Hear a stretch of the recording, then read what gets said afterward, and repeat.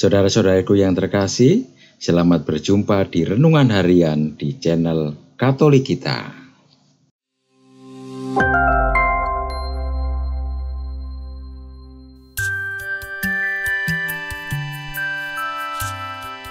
Hari ini, Minggu 8 Januari 2023, Hari Raya Penampakan Tuhan. Bacaan diambil dari Injil Matius bab 2 ayat 1 sampai dengan ayat 12.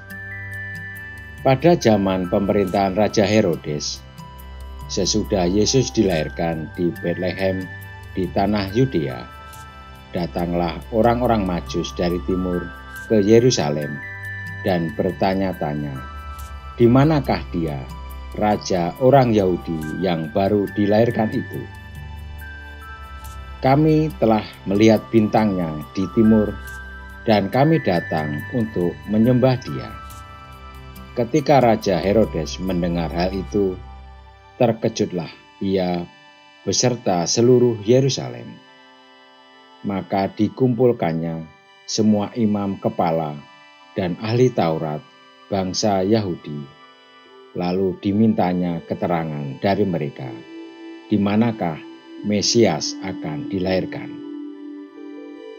Mereka berkata kepadanya, di Bethlehem di tanah Yudea, karena demikianlah ada tertulis dalam kitab Nabi, dan engkau Bethlehem tanah Yehuda, engkau sekali-kali bukanlah yang terkecil di antara mereka yang memerintah Yehuda. Karena daripada mula akan bangkit seorang pemimpin yang akan mengembalakan umatku Israel. Lalu dengan diam-diam Herodes memanggil orang-orang majus itu dan dengan teliti bertanya kepada mereka, bila mana bintang itu tampak. Kemudian ia menyuruh mereka ke Bethlehem, katanya, "Pergi dan selidikilah dengan seksama hal-hal mengenai anak itu, dan segera sesudah kamu menemukan dia, kabarkanlah kepadaku supaya aku pun datang menyembah dia." Setelah mendengar kata-kata raja itu, berangkatlah mereka. Dan lihatlah Bintang yang mereka lihat di timur itu mendahului mereka hingga tiba dan berhenti di atas tempat di mana anak itu berada.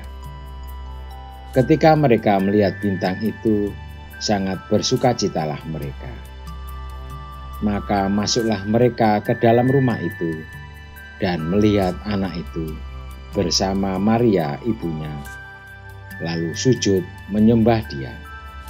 Mereka pun membuka tempat harta bendanya dan mempersembahkan persembahan kepadanya, yaitu emas, kemenyan, dan mur. Dan karena diperingatkan dalam mimpi, supaya jangan kembali kepada Herodes, maka pulanglah mereka ke negerinya melalui jalan lain. Demikianlah sabda Tuhan. Terpujilah Kristus. Saudara-saudariku yang terkasih, pada hari raya penampakan Tuhan ini kita diajak merenungkan tiga hal. Pertama, siapa yang menjadi bintang dalam hidup kita sehingga kita bertemu dan mengenal Yesus. Semoga dengan peran bintang itu kita semua peroleh sukacita Kedua, mari kita menjadi bintang bagi yang lain, yaitu menjadi pribadi-pribadi yang menunjukkan jalan supaya banyak orang menemukan Tuhan. Mari kita menjadi pembawa terang bagi orang lain, bukan hanya sebagai petunjuk jalan dalam arti tidak ikut, melainkan juga justru harus aktif menjadi terang yang sungguh berguna bagi orang lain, sehingga mereka selamat.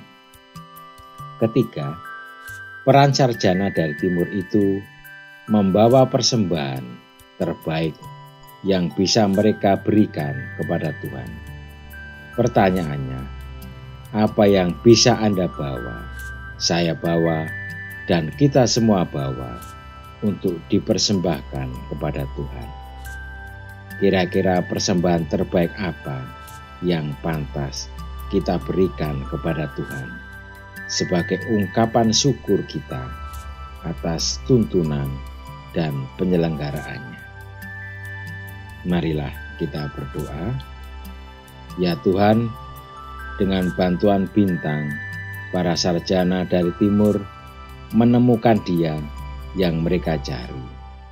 Semoga dengan bantuan banyak bintang dalam hidup ini, kami mampu menemukan Tuhan yang kami cari dan sembah. Amin. Saudara-saudariku yang terkasih, terima kasih atas kebersamaannya di dalam renungan harian ini.